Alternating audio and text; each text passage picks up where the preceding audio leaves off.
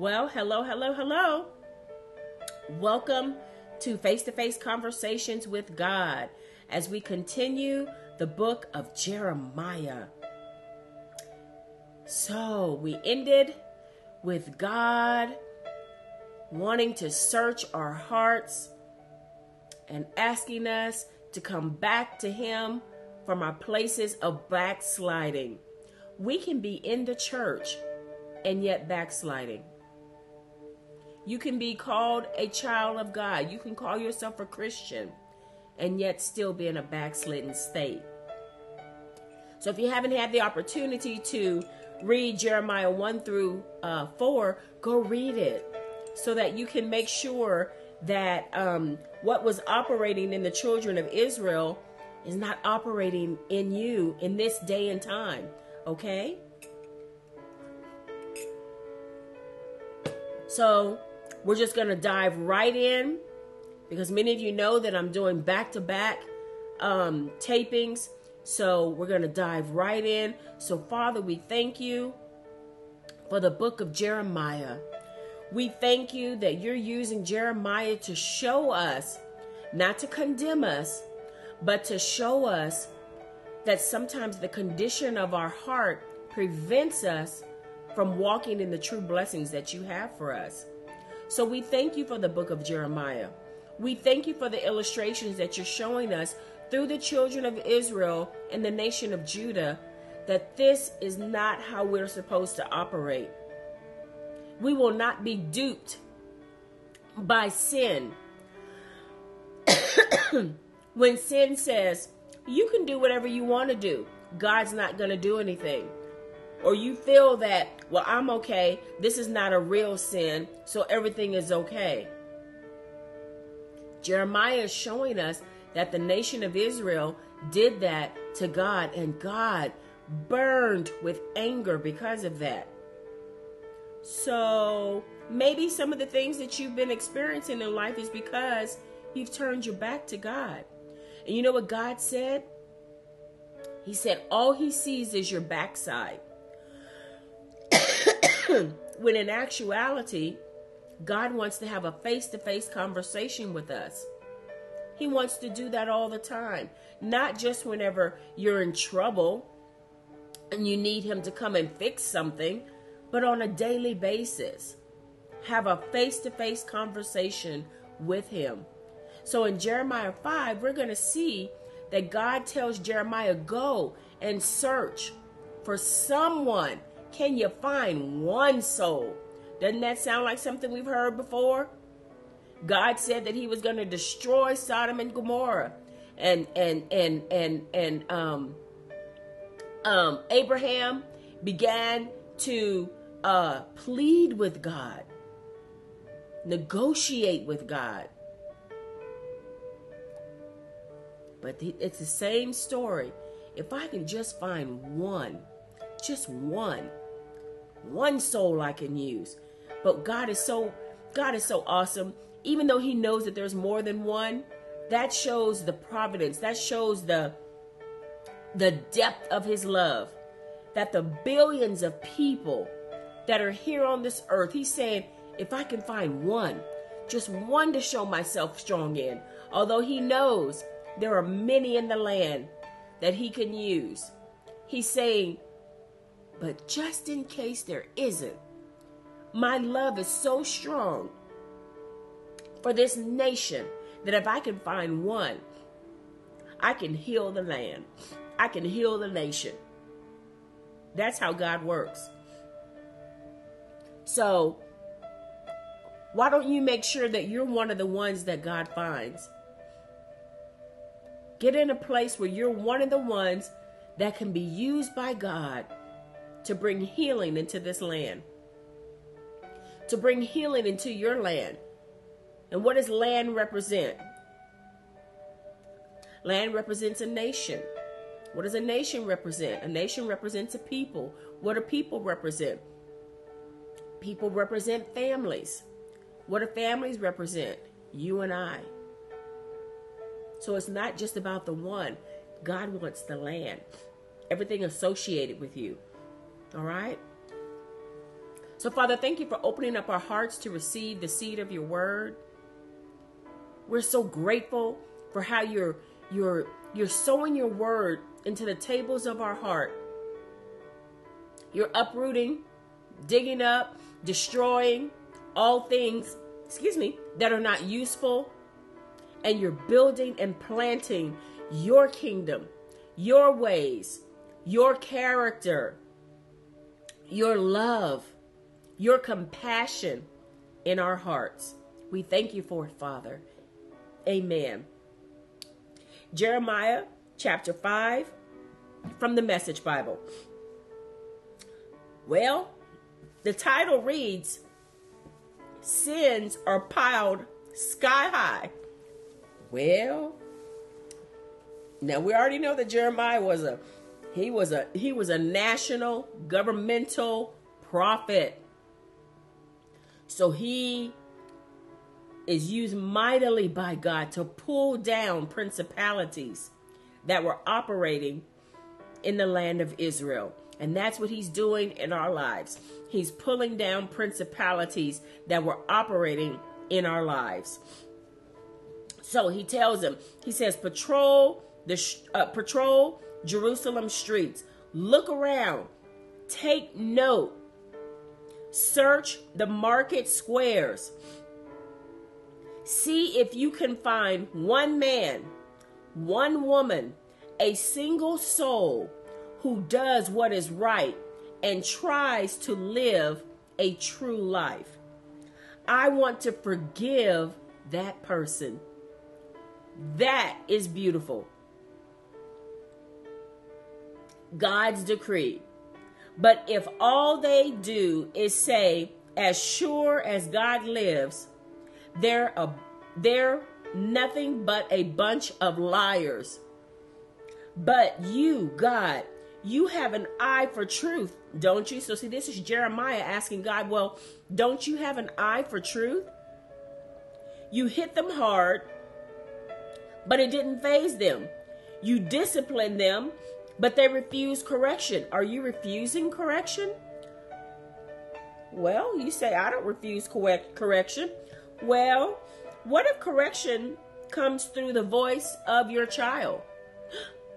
what? Yeah. What if correction comes through your boss?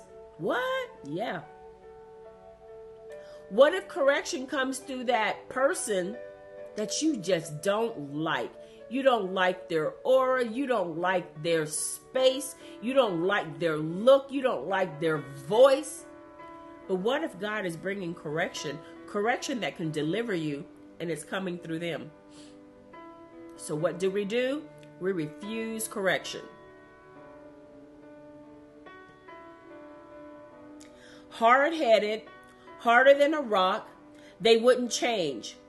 Then I said to myself, well, these are just poor people. They don't know better. They were never taught anything about God. They never went to prayer meetings. I'll find some people, I'll find some people from the best families. I'll talk to them. They'll know what's going on, the way God works. They'll know they'll know the score. But they were no better. Rebels, all of them. Off doing their own thing, the invaders are ready to kill and pounce like a mountain. I'm sorry. The invaders are ready to pounce and kill like a mountain lion, a wilderness wolf, panthers on the prowls. The streets aren't safe anymore. Why? Because the people's sins are piled sky high. Their betrayals are past counting. So, why should I even bother with you any longer. Your children wander off, leaving me, taking up with other gods. They aren't even good gods. They aren't even gods. They take up with gods that aren't even gods. I satisfied their deepest needs, and then they went off with the sacred whores, left me for orgies and sex shrines. A bunch of well groomed, lusty stallions each one pawning and snorting for his wife's uh, for his neighbor's wife. Do you think I'm going to stand around and do nothing God's decree? Don't you think I'll take serious measures against a people like this? But God is still sending, looking, searching, searching the earth for one. Will you be that one?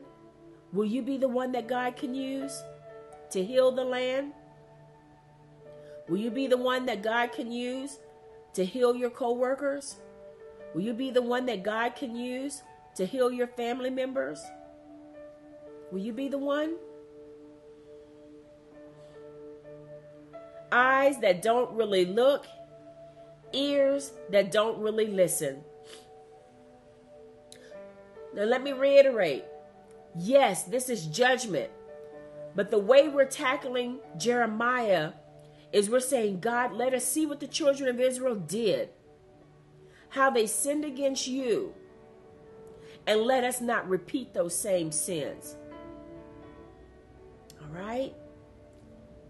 Go down the rows of vineyards and rip out the vines, but not all of them.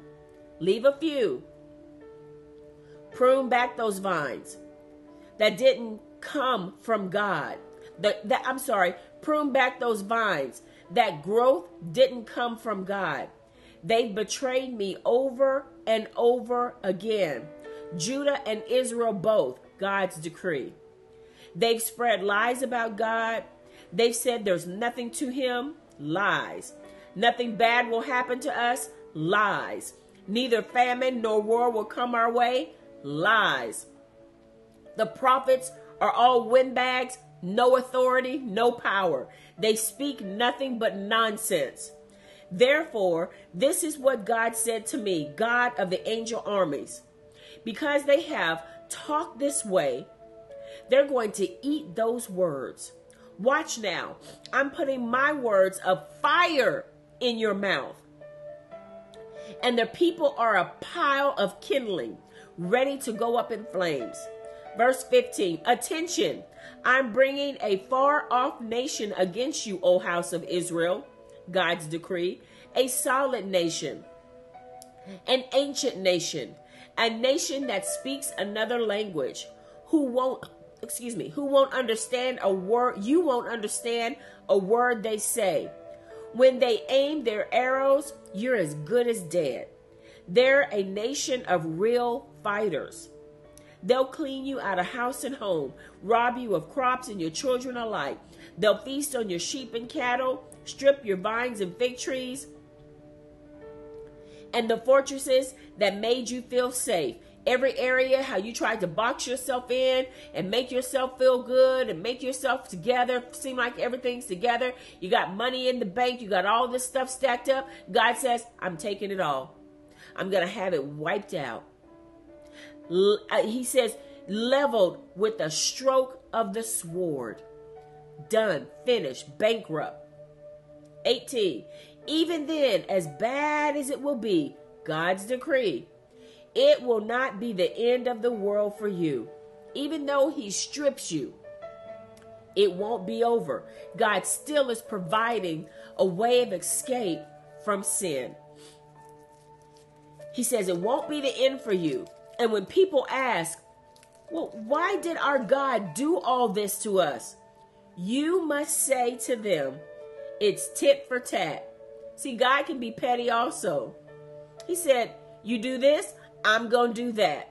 You going to play the dozens, I'm going to play the dozens back with you. But when I play the dozens, you going to feel it. Just as you left me and served foreign gods in your own country, so now you must serve foreigners in their own country. Tell the house of Jacob this put out this bulletin in Judah. Listen to this. You scatterbrains, airheads with eyes that don't see, really look, and ears that hear but don't really listen. You don't honor me. Let me tell you something. If you want to learn something on the subject of honor, I would tell you to go and listen to the series that Apostle Matthew Stevenson is teaching on honor. It will bless your soul. God is saying, Why don't you honor me?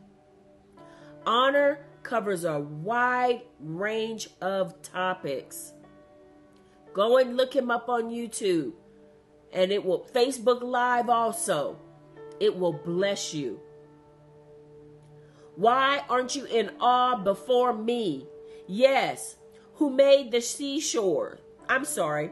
Yes, me who made the shorelines to contain the ocean waters. I drew a line in the sand that cannot be crossed. Waves roll in, but cannot get through. Breakers crash, but that's the end of them. But this people, what a people! Uncontrollable, untamable, runaways. It never occurs to them to say, How can we order honor our God with our lives? Is your life honoring God? It's a simple answer. It's either yes or no. There is no middle line. Is your life honoring God? The God who gives rain in both spring and autumn and maintains the rhythm of the season, who seasons, who sets aside time each year for harvest and keeps everything running smoothly for us? Of course you didn't. Your bad behavior blinds you to all of this. Your sin keeps my blessings at a distance.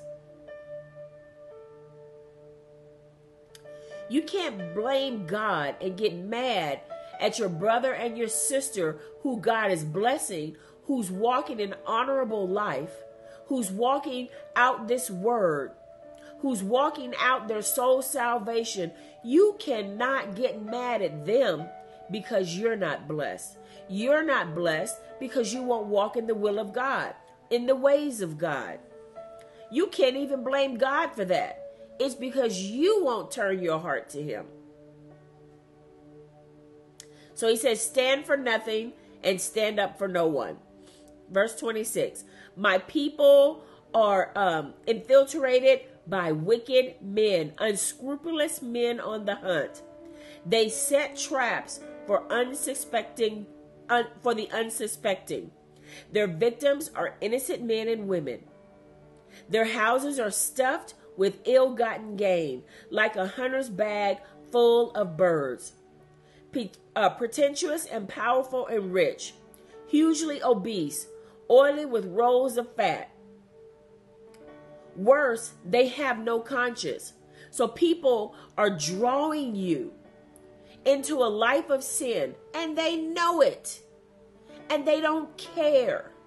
They're introducing you to things that they know don't please God. But they don't care because their conscience has been seared.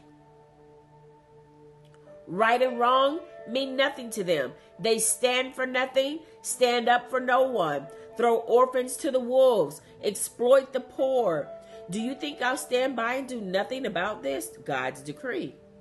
Don't you think I'll take serious measures against people like this? Unspeakable, sickening. What's happened in this country? Prophets preach lies and priests hire on as their assistants. And my people love it. They eat it up. You run to those prophets. You run to those preachers. But the ones that are preaching the true word of God, we get one or two visitors. You get three or four visitors. Because people don't want to hear the truth. Because their ears hear, but they don't hear. Their eyes see, but you can't see. But what will you do when it's time to pick up the pieces? After they have destroyed your life, you're in shambles, you've given all your money to to to the shenanigans that are going on, and then you get mad at God. But your discernment was off. You couldn't even tell that they were fake prophets. You couldn't even tell that those preachers were not preaching the true, unadulterated word of God. All right. Chapter 6 Run for your lives, children of Benjamin. Get out of Jerusalem and now. Get out of those dead houses now. Seek, find, Holy Spirit, show me a house that your word is being preached, where Holy Spirit has true reign in that house where Holy Spirit is transforming lives, where Holy Spirit is healing, where Holy Spirit is delivering, where Holy Spirit is setting people free. Show me where those places are in your city. You might have to drive a few miles, but be willing to do it. It will save your soul. Hallelujah. My God, my God. All right, get out of Jerusalem and now give a blast on the ram's horn in Blastville. Send up smoke signals from the smoke town. This is a blast. Get out of those dead places. God has given you permission to leave a dead house that's speaking lies. Don't run after prophets. Don't run after all that. Run after the face of God. And God will show you that man or that woman that He has anointed and appointed to speak the true word of God that will liberate you, that will get the hellhounds off of your back, that will destroy the yokes that have been placed on your neck. The prison bars will be opened and you'll be able to fly freely. Right? He'll restore your youth. He'll restore all that the cankerworm and the palmer worm and the caterpillar, all that they ate up. God will restore it. But you got to be in the right house. A house where the river of God is flowing. Why do you need the river of God? The river of God cleanses, it refreshes, a house where the voice of God is being heard. The voice of God directs. All right? Doom pours out of the north, massive terror. I have likened my dear daughter Zion to a lovely meadow. Well, now shepherds from the north have discovered her and brought into their flocks I'm, I'm sorry, and brought in their flocks of soldiers. They pitched camp all around her and planned where they'll graze and planned where they'll graze, and then prepare to attack. Do you know that there are people that are watching, waiting for the moment to attack and pounce on you? because you don't know the word. So they can feed you garbage. And then it gets your eyes off of God and it makes you dull. But God calls you to be a light, a blaze in Him, not dull, with no authority. The fight is on. To arms, we'll strike at noon, is what they say. Oh, it's too late. Day is dying. Even shadows are coming upon us. Well, up and away, we'll attack by night and tear apart her defenses stone by stone. Oh, my battery's going down. Hold on, hold on, hold on. Oh, my battery's going down. Ah.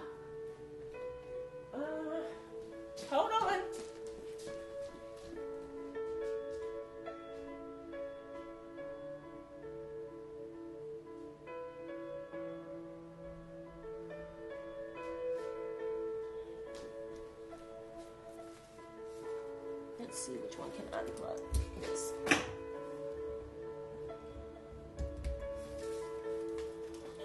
Sorry, sorry, sorry. Um, how am I gonna do this? Hold on. Gotta get juice in here.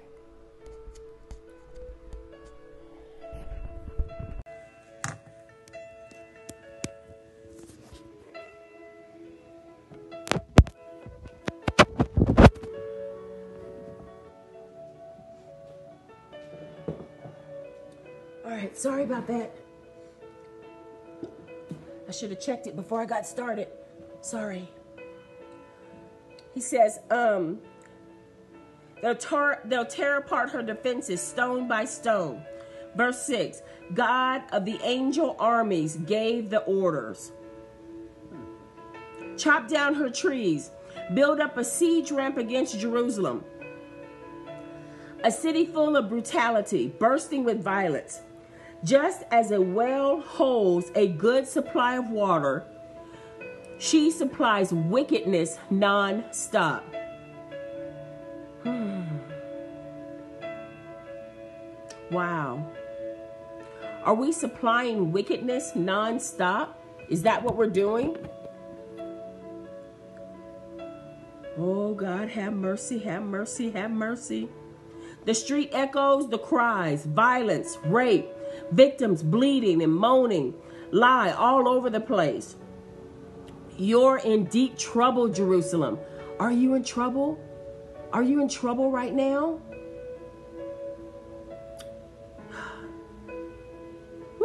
You've punished me to the limit. You're on the brink of being wiped out, being turned into a ghost town. Time's up. Harvest the grapes for judgment. Salvage what is left of Israel. Go back over the vines, pick them clean, every last grape. So God is asking in verse 10 Is anybody listening? Is anybody listening? I've got something to say. Is anybody listening? I've a I, I've a warning to post. Will anyone notice? It's hopeless. Their ears are stuffed with wax. Deaf as a post, blind as a bat. It's hopeless. They've turned out God. They don't want to hear from me, but I'm bursting with wrath, but I'm bursting with the wrath of God. I can't hold it much longer. So dump it on the children in the streets. Let it loose on the gangs of the youth, for no one is exempt. Why is all this stuff happening? Because we turned our backs on God. We see so much violence in our land. You think this is just happening by happenstance? No, these spirits have come in and they have begun to come through the generation of the children. Since when have we heard of so many children being murdered? Well, Ashtaroth was one of those demons that took children as a sacrifice. Bear all of that. Do you think this is just happenstance that this is happening? Our backs have been turned against God, and these spirits are riding on our children. Our sin affects generations. So it's time to get it together. Man and woman, boy and girl. Time to get it together. What we do affects someone else. Come on. He says, Husbands and wives will be taken, the old and those ready to die. Their homes will be given away, all they owned, even their loved ones. When I give the signal against all who live in this country, God's decree. Everyone's after the dishonest dollar. I didn't say it, it's in the Bible. Everyone's after the dishonest dollar. Little people, big people alike, prophets and priests, everyone in between. Twist words and doctor truth. Did you hear what the Bible said? It says they twist words and they doctor truth. That's why we need Holy Spirit truth because he gives us the truth. Amen. Wow. Mm. People are broken. Yeah, people are broken right now. Shattered. Don't know how to trust God. Because of a lying prophet, a lying priest, a lying person that's carrying the name of a Christian. And they put on band aids. And this is not only Christians, these are people who don't even know God yet, but don't even want to know God. So they put on band aids saying, It's not so bad. You'll be just fine. Lies. You're, you're broken. Your heart is broken. Your spirit is broken. Your soul is broken. And a band aid can't fix that. Do you suppose they are embarrassed over this outrage? No, they have no shame. Walk around all bandaged up. We would walk around bandaged up, hurting and bruised, instead of turning to God who can heal you. They don't even know how to blush there's no hope for them. They've hit bottom and there's no getting up. As far as I'm concerned, they're finished. God has spoken. So this is what happens. See, it, it's like progressions. Now it says, death is on the prowl. Verse 16, God's message yet again. God stands at the crossroads and look around Oh, he said, go stand at the crossroads and look around. Ask for directions to the old road, the tried and true road, then take it. So people say that Bible is too antiquated. It doesn't, God doesn't even exist. That Bible is no use anymore. The Old Testament doesn't work. The New Testament Jesus is just a prophet. But God says, if you want to live, you need to go down that old, tried and true old road. The road of the Bible, the road of the Bible, the road of God. That's the road you need to be on. Remember in Matthew, it says that many go on the broad path, but few will go on the straight path, that straight path that leads to God. And it's not saying that it's a straight like a straight line. It means straight, a very narrow, constricted path. Many don't want that path. But God is saying that's the path that when you walk down that path, that's where you'll find me. You'll find me on the way. Remember when we read that in Romans? He said, on that broad path, they're going to come against a stone and they're going to try to go around the stone, but you can't go around the stone because he's the stone. But if you would walk with him, you'll find him along the way. And he won't be in your way, but he'll be along the way with you. Wouldn't you rather walk the road that brings about peace and you find God along the way instead of the road that every step you take you're bumping up against the stone, against the brick of God. That ought to hurt. All right. Discover the right route for your souls. But they said, Nothing doing. I'm not going down that road. Too constricted. Too many rules. Too many statutes. Too many ordinances. Too many do's and don'ts. We're not going that way. I even provided watchmen for them to warn them, to set off the alarm. But the people said, It's a false alarm. God's not going to do anything. I'm okay. It doesn't concern us. And so I'm calling in the nations as a witness. Watch, witnesses, what happens to them. And pay attention, earth. The earth is even saying, hey, hey, hey, what are you doing? But God says, earth, watch, watch. Don't miss these bulletins. I'm visiting catastrophe on this people the end result of the games they've been playing with me.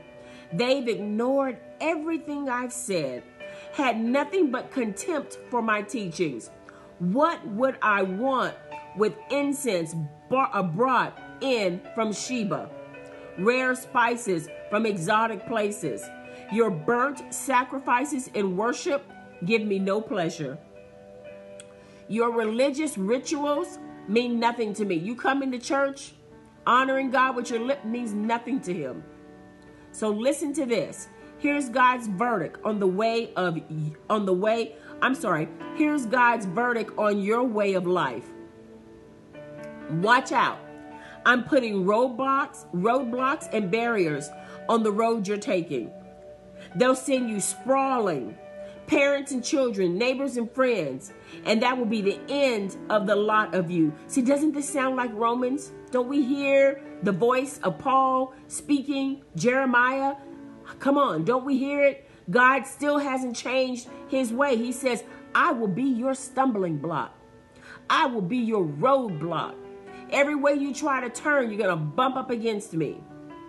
And listen to this verdict from God. Look out. An invasion from the north, a mighty power on the move from a far away place, armed to the teeth, vicious and pitless, booming like sea storm and thunder, tramp, tramp, tramp, riding hard on war horses in battle formation against you, dear daughter Zion, against you. Now, daughter Zion is part of the church. He's talking to you, not just those out there. He's talking to you, sister so and so, and brother so and so, and Chauntelle. He's talking to us. If we don't get right with God, verse 24. We heard the news and we were as limp as wet dish, dish rags. We're paralyzed with fear. Terror has a death grip on our throats.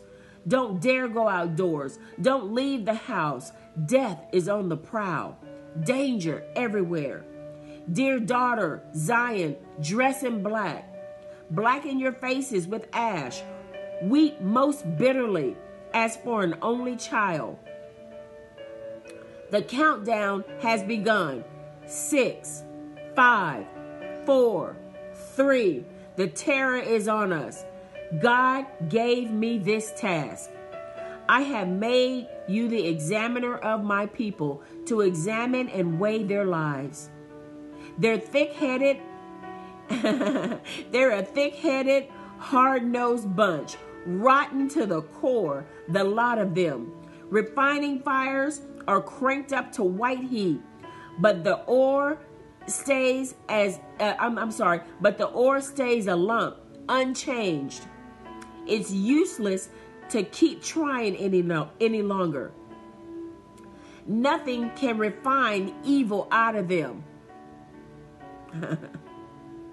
you can't refine evil. That's just like trying to uh trying to talk to a demon. You got to cast that stuff out. God's got to get that stuff up out of you. Men will give up and call them slag. Throw on the slag heap by me, their God. My goodness. Chapter 7 The nation that wouldn't obey God. Lord, don't let us be a people that just will be be like the children of Israel and be a nation that won't obey God. The message from God to Jeremiah Stand in the gate of God's temple and preach this message. Say, Listen, all you people of Judah who come through these gates to worship God, God of the angel armies, Israel's God, has this to say to you. This is what God is saying to us. Clean up your act, the way you live, the things you do so you can make my home, so I can make a home. I'm sorry. So I can make my home with you in this place. Don't for a minute believe the lies being spoken here. This is God's temple. God's temple. God's temple. Total nonsense. Only if you clean up your act, the way you live, the things you do, only if you do a total spring cleaning on the way you live and treat your neighbors, only if you quit exploiting the street people and orphans and widows, no longer taking advantage of innocent people on this very site, and no longer destroying your souls by using this temple as a front for other gods. Only then will I move into your neighborhood. Only then will God move into your heart when you repent of all of this. Only then will this country I gave your ancestors be my permanent home, my temple. God, now we know when Christ came, there was no longer the need for the temple. We are the temple of God. So the only way that God is going to come in and live in your temple is you repent of all the things that we've done, of putting other gods before Him, of turning our backs on Him. Get smart. Your leaders are handing you a pack of lies. That's in the Bible. God said it. Your leaders are handing you a pack of lies and you're swallowing them. You're eating it up. Use your heads. Do not think you can rob and murder and have sex with the neighborhood wives tell lies nonstop, worship the local gods, and buy every novel religious commodity on the market, and then march into this temple set apart for my worship and say, We're safe. Thinking that the place itself gives you a license to go on with all this outrageous sacrilege. A cave full of criminals. Do you think you can turn this temple set apart for my worship into something like that? Well, think again. I've got eyes in my head. I can see what's going on. You can't hide what you're doing from God. You can turn the lights off. You can put a candle on. You can dress, you can put on a wig. You can put on a toupee. Now they paint them on for men. You can lighten your skin. You can darken your skin. You can change your lipstick. You can change your eye color. You can do all that.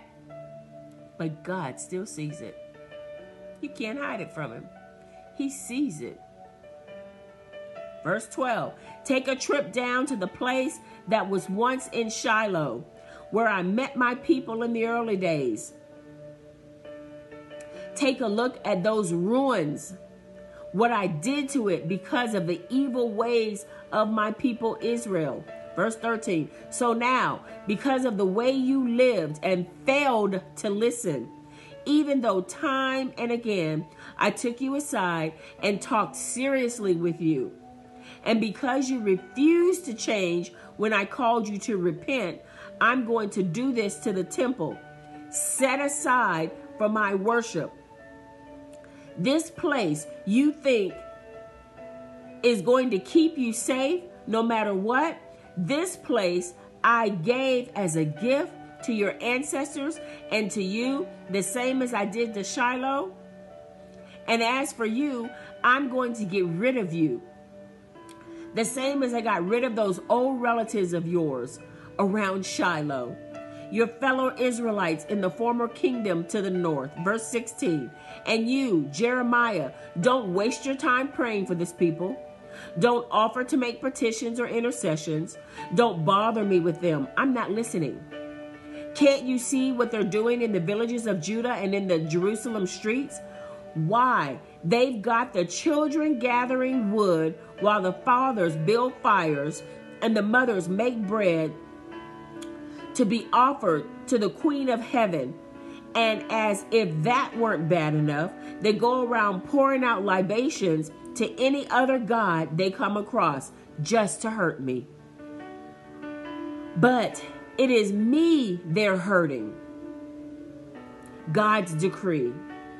Aren't they just aren't they just hurting themselves, exposing themselves shamefully, making themselves ridiculous? Here's what the Master God has to say My white hot anger is about to descend on this country and everything in it people and animals, trees in the field and vegetables in the garden. A raging wildfire that no one can put out. The message from God of the angel armies, Israel's God. Go ahead, put your burnt offerings with all your other sacrificial offerings and make a good meal for yourselves. I sure don't want them. When I deliver your ancestors, when I delivered your ancestors out of Egypt, I never said anything to them about wanting burnt offerings and sacrifices as such. But I did say this commandment obey me. Do what I say, and I will be your God, and you will be my people. Live the way I tell you. Do what I command, so that your lives will go well. Verse 24. But do you think they listened? Not a word of it. They did just what they wanted to do, indulged in any and every evil whim, and got worse day by day. For the time of from the time of your ancestors, from the time your ancestors left the land of Egypt unto now, I've supplied a steady stream of my servants, prophets. But do you think the people listened? Not once. Stubborn as mules and worse than their ancestors. Tell them all this, but don't expect them to listen. Call out to them, but don't expect them an answer. Tell them, you. Why is this saying my battery's still low? Hold on. Why is it doing that?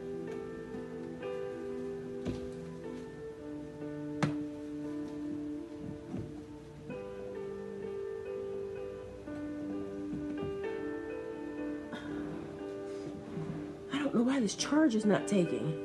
I'm going to try to finish this. I've got it plugged in, but it's saying my charge is almost out. Uh, tell them all this, but don't expect them to listen. Call out to them, but don't expect an answer. Tell them you are the nation that wouldn't obey God, that refused all discipline. Truth has disappeared. There's no trace of it left in your mouths. So shave your heads, go bald to the hills and lament, for God has rejected and left this generation that has made him so angry. The people of Judah have lived evil lives while I've stood by and watched God's decree. In deliberate insult to me, they've sent up their obscene God images to the very temple that was built to honor me.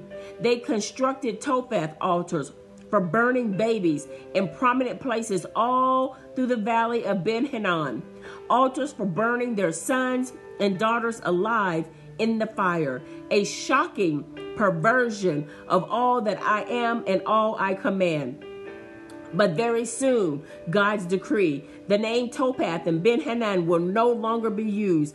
They will call the place what it is Murder Meadows, Corpses will be stacked up in Topheth because there's no room left to bury them. Corpses abandoned in the open air, fed on by cows and coyotes who have turned, I'm sorry, who have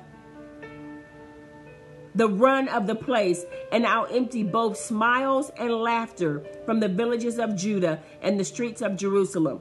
No wedding songs, no holiday sounds, dead silence. Gonna try to finish verse 8 before my battery dies. I don't know why it's not charging. And when the time comes, God's decree, I'll see to it that they dig up the bones of the kings of Judah, the bones of the princes and priests and prophets, and yes, even the bones of the common people. They'll dig them up and spread them out like a congregation at worship before sun, moon, and stars. All those sky gods, they've been in, uh, um, uh, they've been so infatuated with all these years, following their lucky stars in dog like devotion. The bones will be left scattered and exposed to re enter the soil as fertilizer like manure. Everyone left, all from the evil generation, unlucky enough to still be alive, in whatever God forsaken place will I have driven them to, will wish they were dead. Decree of God the angel of the angel armies. Verse 4 Tell them this God's message. Do people fall down and not get up?